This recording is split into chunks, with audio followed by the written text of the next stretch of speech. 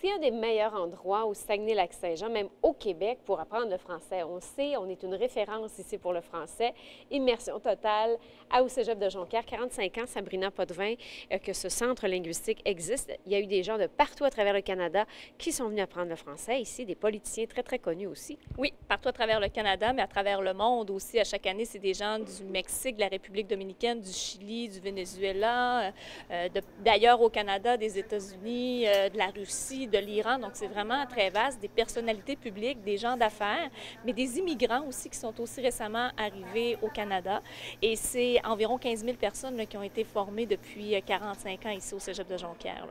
Alors, c'est une référence. Oui, c'est une référence. Puis il y a plusieurs programmes qui sont offerts. On peut étudier dans différentes formules, euh, que ce soit des cours de soir, des cours de jour pour la population de Saguenay, mais des formules, des programmes euh, en lien avec le ministère, par exemple, de l'immigration et des communautés culturelles pour recevoir les immigrants. Il y a le programme, entre autres, Explore, où on reçoit des étudiants, euh, on parle d'à peu près 400 étudiants qui sont ici au printemps et à l'été, deux blocs de cinq semaines, des étudiants d'ailleurs au Canada qui viennent un peu s'imprégner de la culture québécoise. Ils vont avoir des cours de français, mais aussi beaucoup d'heures euh, d'activités socioculturelles où ils vont participer, ils vont aller visiter des attraits touristiques de la région, que ce soit le zoo, le rafting. Euh, donc, ils vont se trouver à vraiment s'imprégner de ce qu'on fait ici. Et euh, il y a plusieurs autres formules possibles quand je vous parlais tout à l'heure des immigrants euh, qui vont venir ici apprendre le français pour leur permettre de faciliter leur intégration, euh, pour que ce soit plus facile pour eux de vivre en français au Québec. Il y a entre autres un projet qui a été euh, créé là, dernièrement où le Centre linguistique va produire du matériel didactique pour le français, langue d'intégration, en collaboration avec le ministère de l'Immigration et des communautés culturelles. Donc ça, c'est un nouveau projet des enseignants d'ici qui travaillent à ce matériel-là. donc plusieurs formules là, qui sont possibles. On peut étudier ici en formule de trois semaines, de cinq semaines, de 15 semaines. Donc, on a vraiment là, des programmes adaptés aux besoins des gens qui nous contactent pour apprendre le français. il faut savoir que s'il y a des gens dans la région qui sont intéressés à recevoir des étudiants, on est à la recherche toujours de familles qui veulent euh, recevoir des gens, échanger avec euh, justement des étudiants de d'autres cultures, des jeunes familles euh, qui ont des enfants pour leur faire vivre un petit peu différentes choses. Et c'est possible de recevoir des étudiants selon sa disponibilité dépendamment du temps qu'on a à offrir, dépendamment de la clientèle qui nous intéresse. C'est plus des étudiants, des adultes. Il suffit de contacter le centre linguistique pour euh, donner son nom.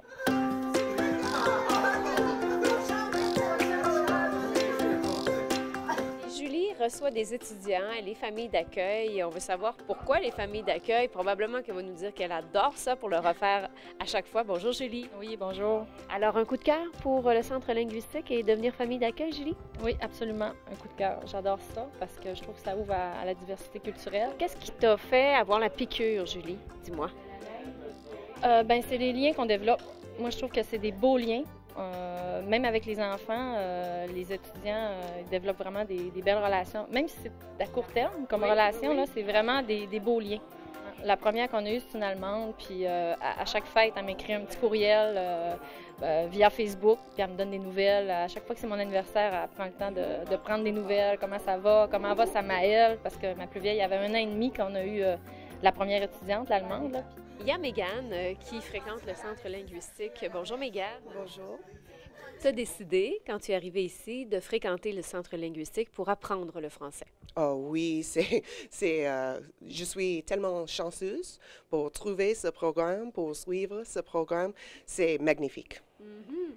Est-ce que, bon, j'imagine que tu en as encore à apprendre. On ne devient pas parfaitement bilingue, en, mais tu continues, tu persévères encore, là? Oui, j'espère.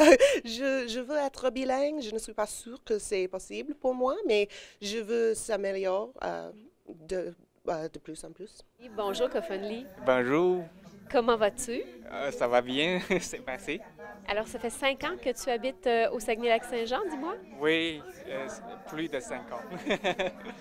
Dis-moi, qu'est-ce qui est plus difficile pour toi à apprendre notre langue? Parce que pour toi, là, c'était complètement inconnu. Là. C'était comme si pour moi, là, j'apprenais ta langue. Là. Ah oui, oui, c'est vrai.